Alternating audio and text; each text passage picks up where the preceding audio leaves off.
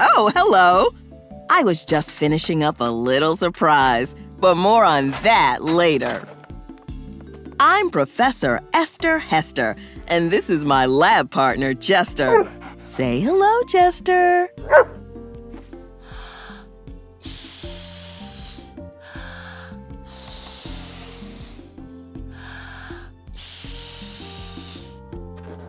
Today, we will use science to learn about your lungs.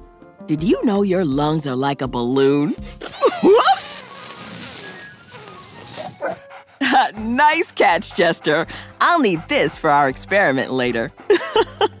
but first, let's see what lungs look like using my own invention, Professor Hester's awesome body scanner. I have two lungs. One on the left, one on the right. They look like pink balloons, don't they?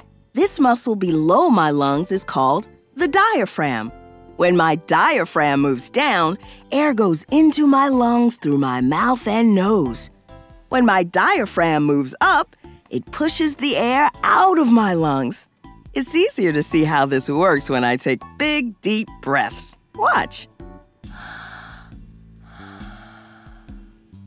We scientists like to see how things work.